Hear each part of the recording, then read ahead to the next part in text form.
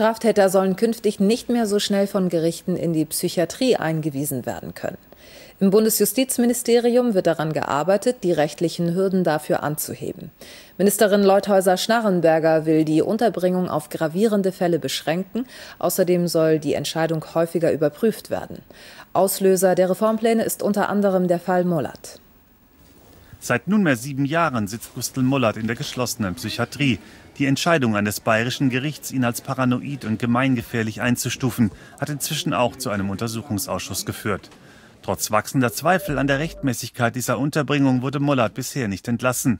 Die Bundesjustizministerin will angesichts der jüngsten Erkenntnisse über mögliche Verfahrensfehler die Unterbringung in geschlossenen Anstalten deutlich erschweren. Wir brauchen höhere Anforderungen an die Unterbringung von Menschen in diese psychiatrischen Anstalten. Und ich will sie auf vier Jahre befristen. Und dann müssen zwei Gutachter unabhängig voneinander erneut feststellen, ob jemand weiter in einer solchen Unterbringung bleibt oder nicht. Die Grünen befürworten den Vorschlag für eine Reform der Unterbringung in der Psychiatrie.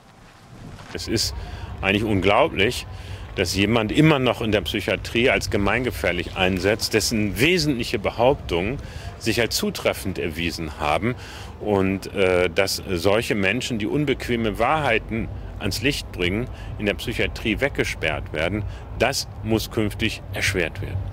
Mollert hatte vor seiner Einweisung behauptet, seine Frau helfe als Mitarbeiterin der Hypovereinsbank Kunden bei Schwarzgeldgeschäften. Ein interner Revisionsbericht der Bank hat die Vorwürfe zum Teil bestätigt. Die Psychiatriereform könnte frühestens in der nächsten Legislaturperiode umgesetzt werden.